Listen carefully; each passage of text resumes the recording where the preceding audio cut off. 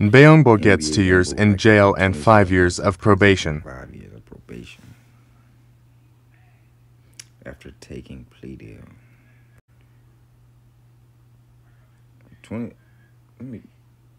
Okay, it's 12 months in a year. 20, 20. So, according to my calculations, what he gonna do? Two years in jail and five years of probation.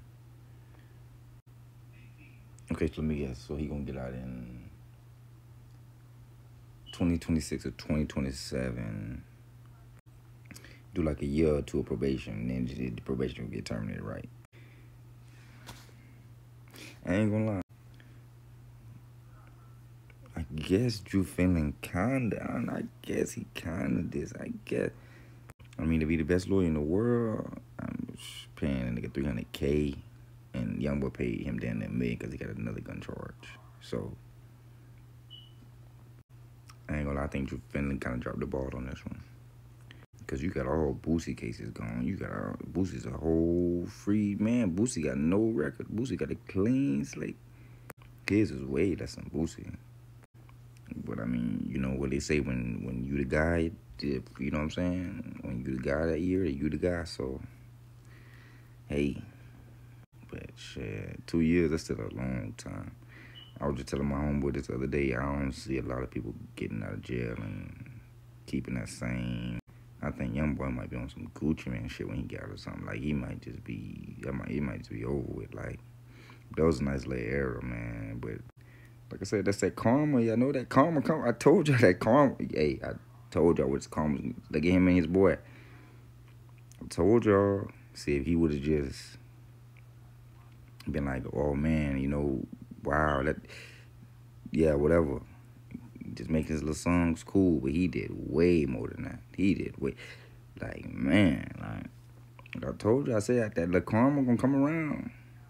He's gonna and look, cause you know the crazy thing is, uh, the other person I'm not gonna say his name, but the other person, he was doing way more than this. He was doing way. Come on, man and he never really went to jail like that. Like that, you gotta give him his props. Like,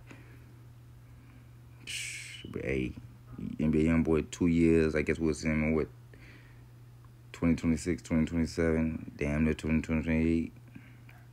He gonna be back where he started anyway. He's on house arrest again. He sold the Utah house.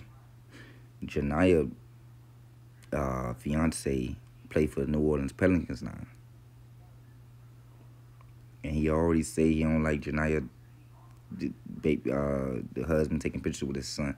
That's just he finna be back. They finna. I, am trying to see how that's gonna work out. Something gonna happen. Uh, what was his name? Dejounte Murray. I don't know. Yeah, I don't know, bro. This is gonna be crazy. But I mean, I wonder if they considered all that. Again,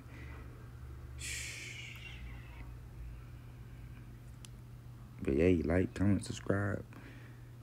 Hey. Pure rep to House TV. That's what they're saying. They usually right though. So. But hey, something to take out of this. You know, all this started in 2018. All this JD Young and Julio Foolio, Young Boy, Yungeen Ace, Lil Durk, all this started in 2018. It's safe to say that Yungeen Ace and Lil Durk is the only two goats out of these situations. Because everybody else, Young Thug, everybody else, they didn't. It's only two people that got out all it, Lil Durk and, and Yungeen Ace, man. So shout out to them boys, because they canceling Yungeen Ace shows. He can't even do They cancel his Daytona. I don't know what the hell in Daytona for Yungeen Ace, but uh,